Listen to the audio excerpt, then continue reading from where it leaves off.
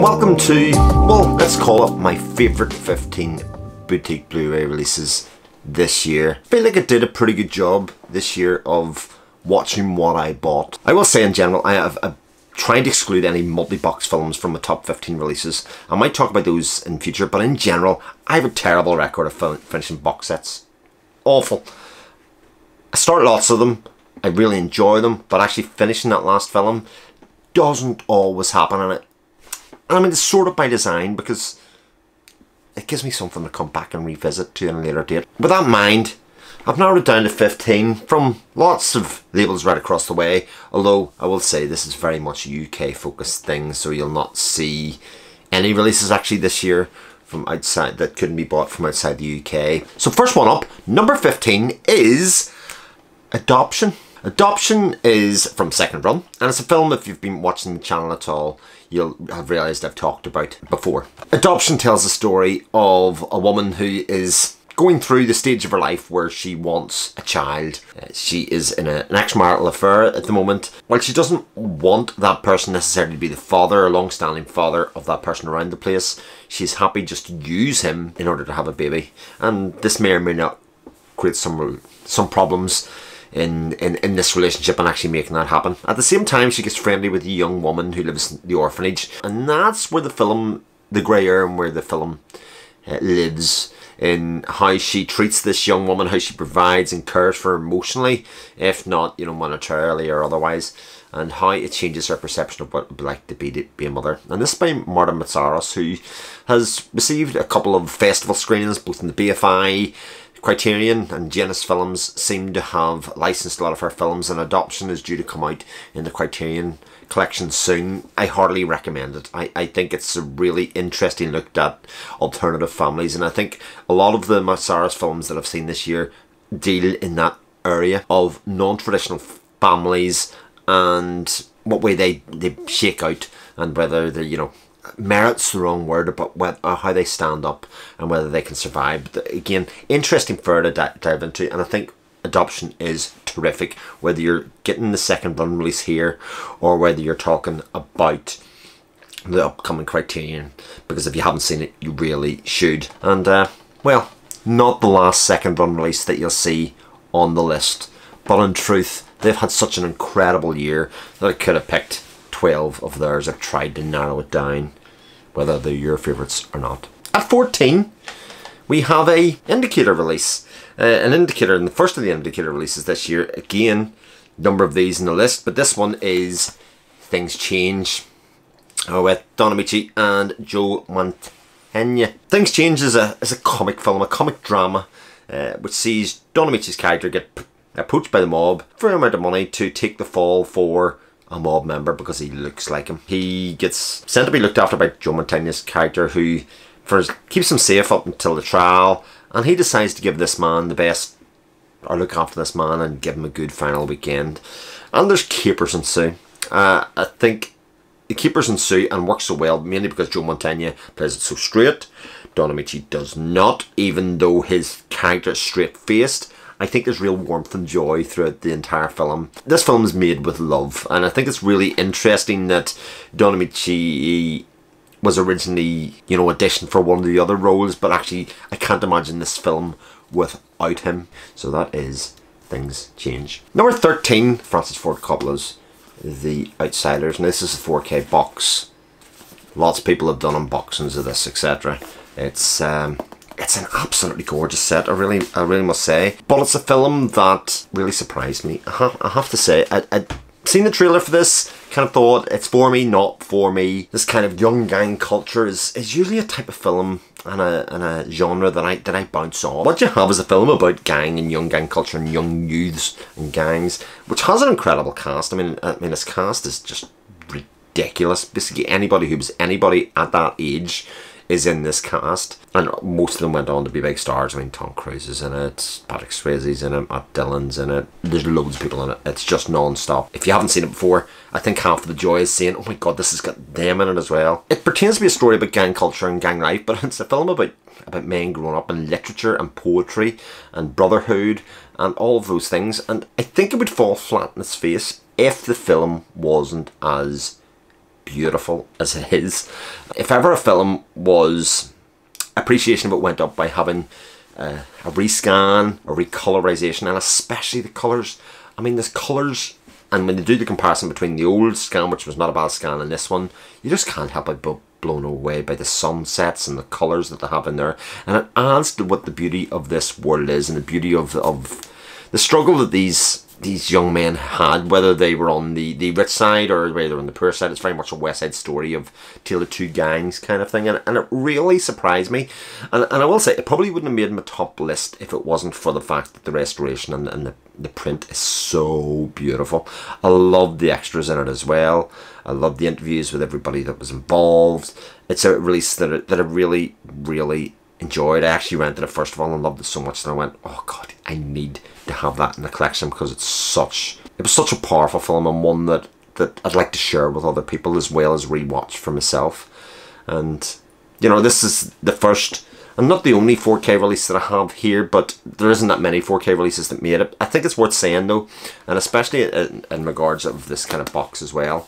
I think one of the really nice things about 4K that I don't hear an awful lot of people talking about is the fact that studio labels and especially Studio Canal give these films the boutique Blu-ray treatment in 4K that they wouldn't have done so in normal Blu-ray release or DVD release. These things are getting, you know, as much care and attention and treated just the same as those other things that we love. Next up is the first of my Criterion releases. I mean, Criterion had just an absolute slew of incredible films, some of which I've seen before, some I didn't. Like some of the things that didn't make the list, if you'd have told me when I watched them or other would make the list uh, are unbelievable. But this one is such a rise, Charulata, and he also debuted this year, which I didn't quite see. It's one of the one or two releases of Criterion they bought this year that I didn't get watching. But Charulata tells the story of a young woman in a marriage. Without spoiling too much, she has feelings for another man. It's and it's not but that feeling of being trapped in a relationship that is good and is wholesome, but it's not true love and it's not that next step or that the fulfillment of their life and how she feels trapped in that, how everybody in the relationship finds out about these things, these feelings that are swirling around, about the effect that it has long term. I mean, Ray's filmmaking, as usual, is sumptuous to look at. It really takes you into the world, and you can't help but be involved with all of these characters. I think Charulata is a really special film, uh, and one that, in pure film terms, is right up there with any that I've seen of his. Bam wasn't a bad filmmaker, was he? Let's be honest uh, an absolute dream of a film and really beautiful and, and just incredibly powerful. Next up is is Eureka Masters of Cinema release actually and again I've talked about this one previously on the channel it's the Russian horror film V Vi whatever way you want to call it now I've talked about this at length in a previous watch list but this is another film that caught me very much by surprise. It's a short film, it's got a short runtime, and it's definitely a film that you can see influences on for many, many years that came after it. But being made at the time that it was, the kind of visual st storytelling that is done in this film, which is very much separated in two parts, is kind of off the scale. I mean, the story of, of the man who gets bewitched and then kills the witch and then his penance for, for doing that at the far end and how it comes out. The Young Philosophers, the story of the Young Philosopher, I think is absolutely brilliant. I think the disc is especially fantastic. There's another film on here, but even the extras and the visual essays that are on here are absolutely terrific. I think this is a terrific release. It was my favourite Masters of Cinema release this year. Time for another indicator release now. This was a year with many great screwball comedies, and it it came down to two for me. But this one was more of the unknown quantity for me. I mean, Bringing Up Baby came out this year. I think Bringing Up Baby is an amazing film. I had so much fun with it. My wife had so much fun with it. But maybe because I wasn't expecting as much from it, and therefore when I watched it, it just took me on a real journey. It's the 20th century with Carole Lombard and John Barrymore. It's ridiculously fun. I mean, it's the story of a producer director who gives a chance to a young woman to come into a play. She becomes a big star. In fact, her star ascends beyond his to the point that she wants to leave him and go make her own way. And he thinks, fine, I'll just get another star, but things don't quite happen nicely for him. And through a chance meeting on a train, they try and get the band back together. And it's just fun. In many screwball comedy tropes and ways. It plays in all of those, a will they, won't they, manipulate and goes on. You know, it's just great fun, and, and I think the two main performances of John Barrymore and Carole Lombard actually edge this a bit over Cary Grant and Katharine Hepburn for me for screwball comedy of the year. But that's not to say they're not both incredible and both amazing. And actually, bringing up Baby probably would have made my list. I just don't know what I would have knocked out of it. But I've got that many Criterion releases in here that I just felt that I could exclude it and include 20th Century. Well, I think less people have probably seen 20th Century and it's maybe less celebrated, but for no good reason in my mind. It's absolutely terrific and well worth checking out. Next one up is another 4K release and a challenging one. Uh, this is a film that I've seen a couple of times now, and every time that I watch it, it grows a little bit in, in my mind. It's a horror film, a film that I'm not very much known for enjoying or being sitting very comfortable with, but it's something that, as you can see, it's not the only horror one on my in my list. This is the Babadook from Second Sight. Uh, again, another ridiculously beautiful release. This is, was a real uncomfortable watch for me. There's no doubt about it. I, I struggled through parts of it behind my hands in some ways. It was it was uncomfortable in the pit of my stomach. It tells a story of a, of a young single mother trying to deal with a difficult son uh, who is convinced that there's monsters under the bed. In fact, he wants to be read scary stories all, all night, every night, and live in that world and revel in that world. And he's convinced that the monsters are real. The mum's not convinced the monsters are real, but as time goes on, the monster becomes more real for her. Uh, and it manifests in her life and takes over life. And it's really a parallel, like a lot of great horror filmmaking and, and filmmaking of this sort, that looks at difficulties of life and how our own mental trauma manifests itself out in other ways.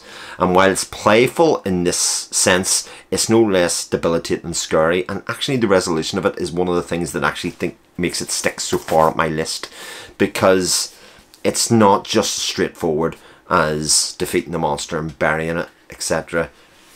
Life just isn't quite like that, and it was really fascinating watching the interviews, etc., with the with the cast that were in it and how they treated the young man so that he wasn't too scared within this. I, I thought it was really fascinating to hear that they were they were worried that the Jennifer Kent's film wasn't actually scary until they went to see the screenings of it and realised, oh my god, people are terrified.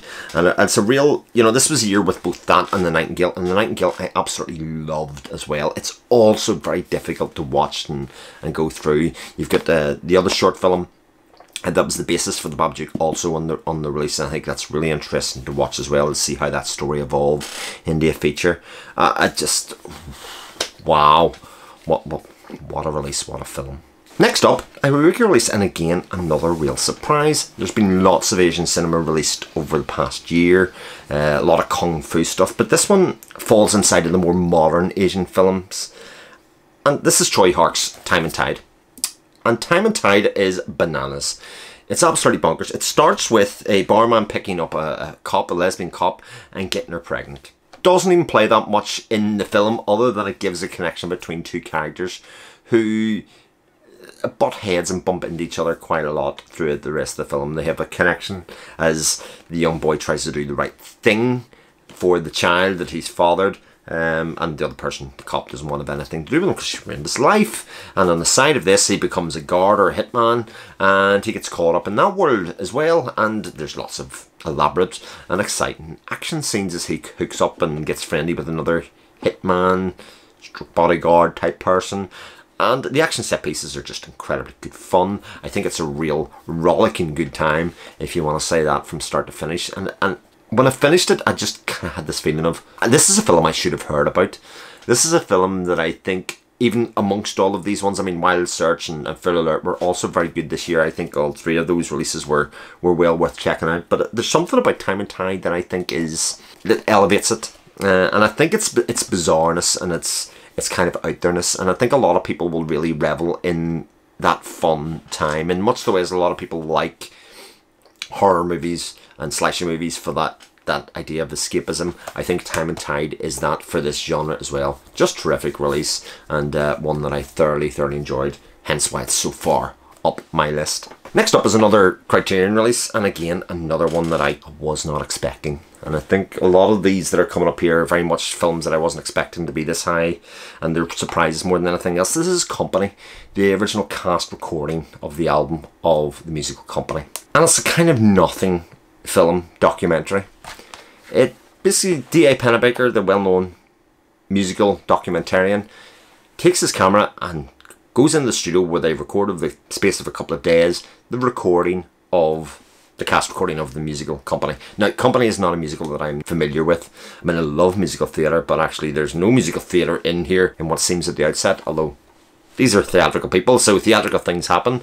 But you get to see an insight into, you know, some incredible people working in that in that area. I mean, Stephen Sondheim is is in this as he tries to you know, make sure that what is recaptured in the recording is what he envisaged and what he wrote, and that it hasn't been changed by the performers over time. And there's there's lots of, of ups and downs of the recording of people going, ah, wasn't good enough, we need to try again. They've got limited space to record it in.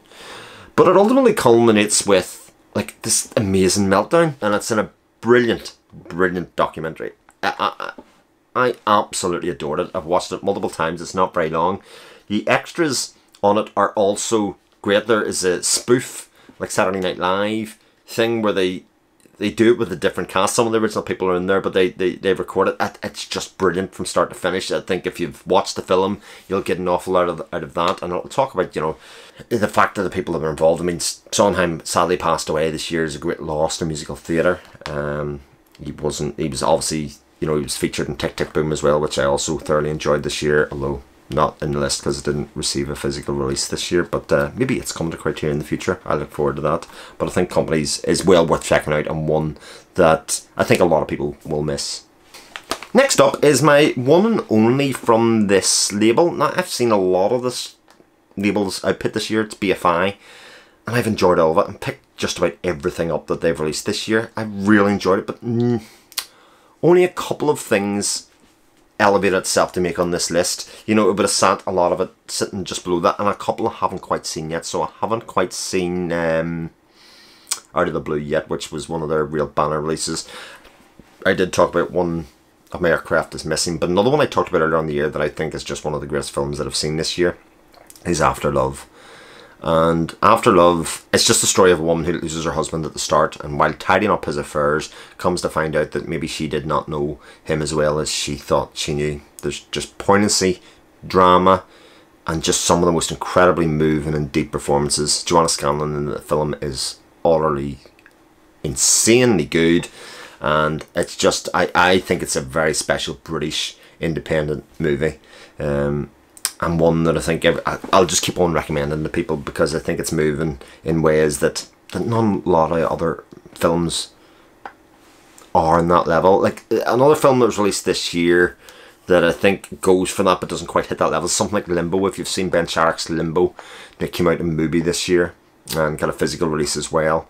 Uh, I think it's terrific. Um, it doesn't quite hit the emotional depths and heart of after Love, but again, terrific as well, and one that I hardly, hardly recommend. Next up is uh, 88 Films release, and again, I picked up a lot of 88 Films released this year, and this is one that I bought initially, didn't watch for a while because there was a lot of that kind of stuff coming out at the moment, is The Young Master, the Jackie Chan.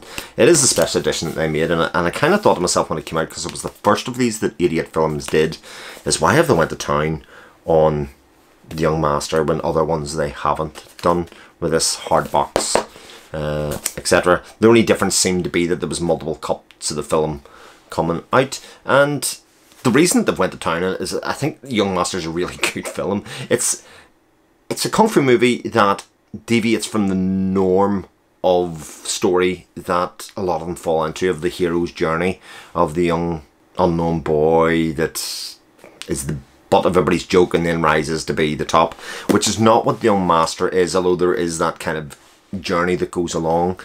It tells the story of competing tribes or competing schools. Uh, the dragon fight scene at the start is, is utterly brilliant for a start. All the set pieces are terrific from start to finish. And, and you know, Jackie Chan I think is great in it, but he's got a great supporting cast of, of both heroes and villains as these things normally do. I think I, I think it was a standout of a lot of the kung fu stuff that I've seen this year, and I watched a lot of it. Um, and this release especially, I know a lot of releases go into the differences between cuts but I think this did a better job than most of explaining actually not what the differences were, but why the differences were what they were. Uh, for instance, the uses of different soundtracks and the reasoning behind different soundtracks. Maybe I just missed it from other releases and what they talk about, but the fact that the American releases, Japanese releases have extremely different soundtracks in them and why, you know, they appeal to a different market, why they, they went in that direction. Um, there's just so much on this that it's, that it's it's hard to fathom that this, this was a whole Sunday for me one day. I devoured it from start to finish, looked at the, the essays and, and then the book, the story of Jackie's life and career, uh, etc. in here. It's just, oh, it's a beautiful, beautiful, beautiful release.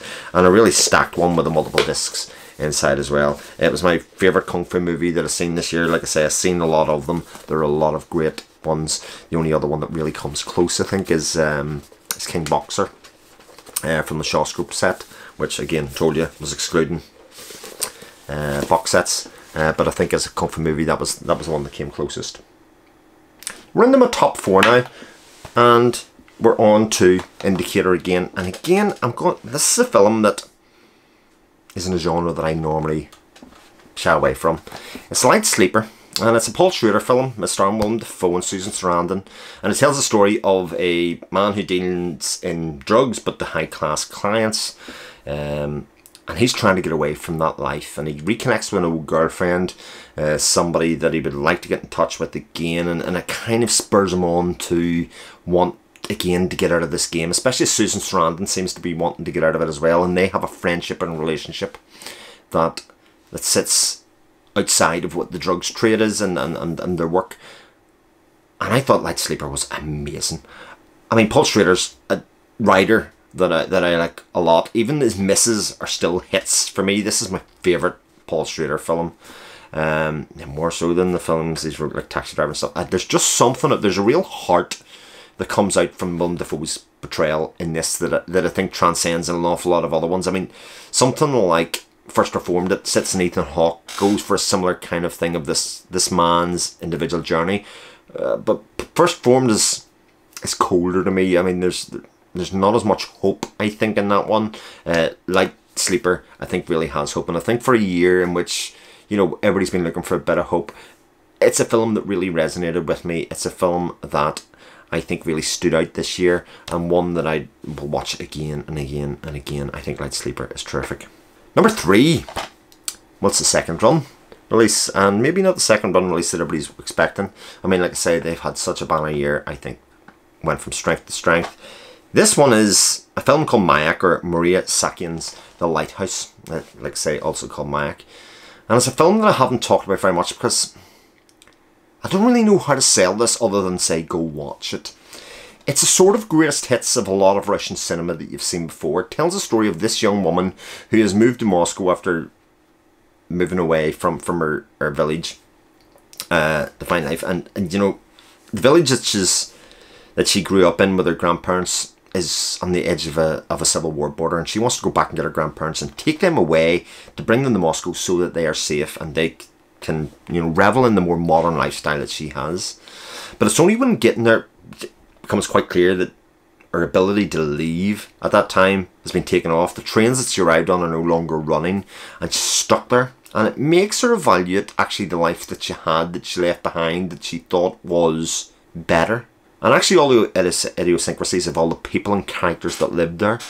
And maybe she realises that it all wasn't her memory purported it to be. Is she rescuing people from this or is she taking them to another kind of hell in its own right? There's some wonderful scenes in here, like the, the woman who is worried about people coming, the woman who's worried about people coming to rob her. So she thinks if she take, busts out and takes out all the windows and house people think there's nothing to steal and she somehow thinks that that's better. But like I say, there's there's a sort of like greatest hits of Russian cinema in here. It's very reminiscent of Stalker in the changing colour palettes that are, that are used and the beauty of which it's shot. It's stunning to look at.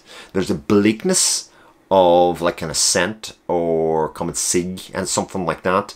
And then there's there's like the film work and camera work of something like you know, cranes are flying, you know, kind of swooping in and out and how they, they traverse and see what's around. I think it's an utterly gorgeous film. I haven't heard anybody talking about it. I think it's incredible.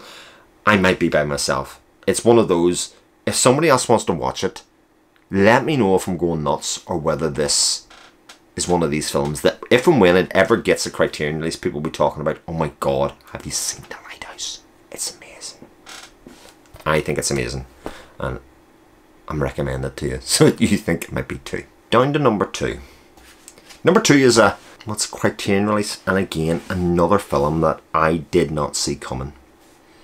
And I'm going to diversify a little bit. I'll probably do this will be one of these films that I do a longer form video about a few years down the line when it when it kind of makes sense of an awful lot of it. But when you put on a film and you're watching it and you see and identify people that you love in that film, it makes you wide-eyed with amazement, especially when those people are of a different race or different colour or some different culture and yet somehow you see them as clearly as anybody that you've ever seen. It is the film Pariah by Dee Rees, and it tells the story of a young a young woman who is again trying to find her way. She comes from a very Christian background. Her mother's devoutly Christian. Her father is as well, but he seems to have his own issues that he's trying to work through. And she has her own issues, this young woman. It's very much an autobiographical story uh, of Dee Rees herself as she tried to, I think, to explain about her own evolution as finding herself as a gay woman. And how she struggled with that, but actually in this context, how everybody has their own problems and their own secrets. And the power of the filmmaking in this, it just blew me away and I think it's because I identified so strongly with some of the characters that are in here on, on all sides. I could see how the realities of those conversations would have happened, how they were difficult, and how they ultimately ended in the way that they did. It's just heartbreaking film, and you know I've seen a lot of criticism of of Criterion for stepping so far into black filmmaking representation that way of, oh my god, there's too many of these releases here. I have loved them all. They have let me see windows into cultures and in people that were both different, but that also were incredibly familiar. And diversification and representation is one of the real joys of watching and being a film fan. And the more for it, I mean, I could have put Deep Cover in here as well with Bill Duke. I thought it was brilliant. I've got the Mario Van Peebles box. Mario. Melvin Van Peebles box set. I suppose Mario was on it as well in places, but I haven't been able to delve into that yet. Like I said, we're not talking about box sets, but um, but Pariah, I there's just something very special about this film for me, and one that that I hold very dear from this year, and the one that one that I'll treasure. And my number one is well, it's another one of those horror films, and again, it's a film I've talked about previously, and it's a film that I found very difficult to watch uh, for long parts of it, but I haven't been able to stop thinking about it. And that film is Raw uh, by Julia Ducournau. And I haven't even seen Titane yet because, I mean, frankly, my wife won't go and see it with me, and I'll have to wait for some sort of home release for it. But Raw tells a story of a young lady who's going through that change of life, that growing up. She's going to veterinary college, a college that her sister currently resides at and she's trying to find herself. She's grown up. She's trying to find her space in the world. And as part of finding herself, she finds that she has a bit of a taste for human flesh. Now, that of its own right will turn an awful lot of people off. But as classically goes, that's not really what the film's about. There's certainly aspects of there that are there to catch your attention, but they're there also to capture your imagination and actually get you to think and empathize with the character that you've got in front of you of how she feeling, how does this horror because she's horrified at herself. How does it envelop and touch her? And what does that ultimately lead to at the far end? I think Raw is amazing. I, I, I couldn't help but be bowled over by the filmmaking, just how powerful it was. All the little bits of the things that people do and the reasons why they do them, I thought just tremendous from start to finish. Uh, uh, one that I'd take away from this this year. And Second Sight, another release that that they've really made me step outside my comfort zone this year uh, and pick up. I picked up one to start off with, but also came from watching Nightingale. I got it to review. It's not something I ever would have watched. If I had rented it or started to watch it, I'd have turned it off. But because I had to review it, I forced myself to go through it, and I really got something out of that as well. And you know, watching films that take you out of your comfort zone has been a real revelation for me this year and made me persevere with things and watch things that especially through the conclusion to see what the filmmaker's intention was because I'm sure there are people who take lots of different things from Raw and all of them incredibly valid because that's what art's about. It's about emoting from the creator side but also about what you as a person watching it takes from it. And those are my 15 releases for this year. I could have picked many, many, many, many, many, many, many others. Uh, there's no Arrow releases here this year, mainly because a lot of my favourite releases from Arrow were box sets this year. The 4Ks were kind of retready, like Donnie Darko, Battle Royale. They weren't first time watches, so didn't have the same impact for me. Of the first time watches, the things that came close were the Masumura stuff, but didn't quite hit as hard as some of this stuff. So, let me know if you've seen any of these, especially you know, I haven't tried to be different. I've just tried to pick the films that impacted me the most. And the more obscure the film, the more that I take ownership of that Voyage of Discovery. And it also makes it easier to recommend to you as well. Because, again, if you haven't seen it, then all the more exciting. If you've made it this far, thank you so much for watching. I hope 2021 was a great year in film for yourself. Again, let me know some of your favourites that people aren't talking about down below. And I'll see you again soon. Take care. All the best. Bye.